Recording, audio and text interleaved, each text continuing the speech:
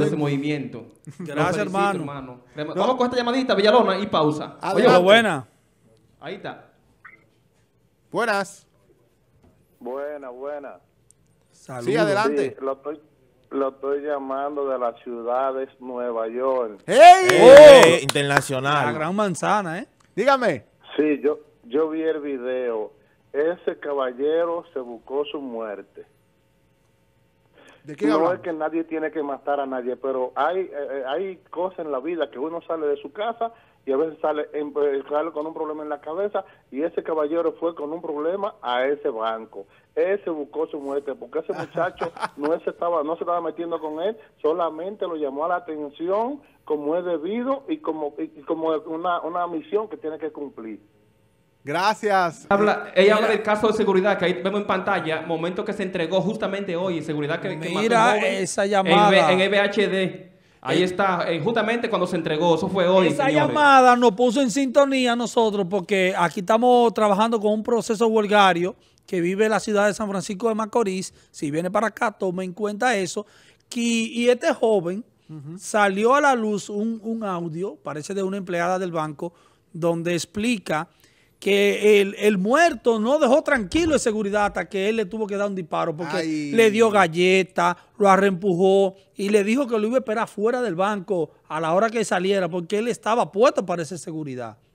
¿eh? Todo el mundo sabe que usted no puede entrar al banco en este tiempo de COVID si usted no va a hacer nada de función dentro del banco. Él, él iba a acompañar a una persona que era la que iba a hacer el trabajo en el banco y una joven, me parece que era. Entonces, a él, seguridad le pidió a él que saliera porque no podía haber cúmulo de gente que no estaba haciendo nada en el banco. Y él no quería salir. Entonces, en modo de discusión, dice la joven que le dio una galleta al seguridad. Esto no fue motivo tampoco para que él lo matara, pero eh, él entendió que, que ya no tenía de otra. Así es, así es, Jorge. Ahí entonces vemos eh, Villalona y Angel. Vemos el momento que Sergio Pascual Valdés hace Se- su entrega. Se, se entrega entregó. acompañada de su abogada, eh, quien dice él eh, en el audio, no en ese, en ese video, sino en otro video, donde él dice que se sentía arrepentido y que, como tú dices, Jorge, el muchacho lo llevó a un extremo, mira, que lamentablemente tuvo que cometer el hecho. El hoyo Ciso correspondía al nombre de Esteban Antonio Almonte, de 35 años de edad. Lamentablemente perdió la vida. Eh, bueno, porque imagínate, por circunstancias de agresiones. Y como tú dices, Jorge, no debemos llegar hasta ahí, no debemos ni provocar a una persona de tal manera y también fue todo armada.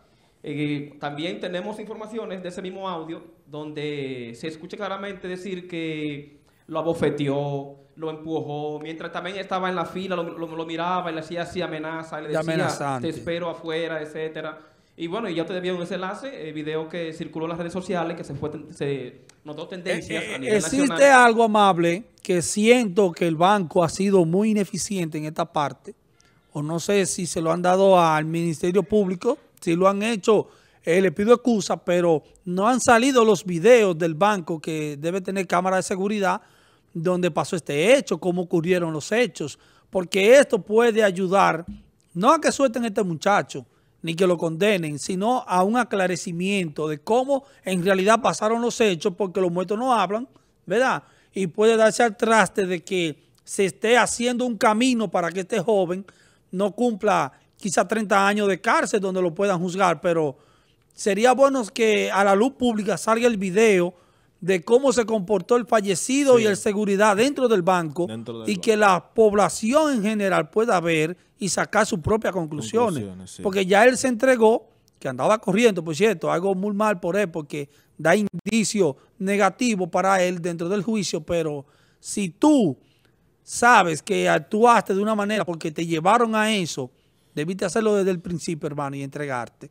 Y que el banco, si, digo, si se lo entregó al Ministerio Público y están trabajando las imágenes, bien por ello, pero públicamente no lo he visto. No sé si ustedes lo han visto por ahí, No. la imagen del banco. No he visto el banco hablando de este caso. No, el banco habló, sí, por No, supuesto. mandó El una condolencia a la familia del fallecido, más nada. No, ¿Ha el dicho banco, otra el banco tiene que limitarse a eso porque es, primero es una compañía obviamente privada, pero lo segundo es que los vigilantes eh, privados son de una compañía externa. O sea, la compañía le paga a una compañía, A una compañía externa. para que entonces... Pero pues, aquí la compañía la no se ve, vamos a estar claros, aquí el nombre que, que queda entrever es el, es el del banco, porque es, Sí. es la mayor jerarquía de todo lo que estamos Claro. hablando. El banco que se ve afectado. Exacto, la compañía no se ve. Ay, sí, eh, Y es a las eso. compañías también, Villalona, perdóname hermano Sí. familia, que al momento de usted elegir personas que vayan a manejar un arma de fuego, por favor, tenemos que aprender a depurar a la gente. ¿Eh? Con trabajo psicológico, no sé de qué manera, pero vamos a trabajar, antes de ponerle un arma de fuego a una persona en la mano, vamos a estudiarlo bien. Porque vemos que la gente no agota ningún tipo de proceso eh, al momento de hablar o de enfrentarse en una situación eh, para de una vez jalar un arma y darle un tiro a una persona.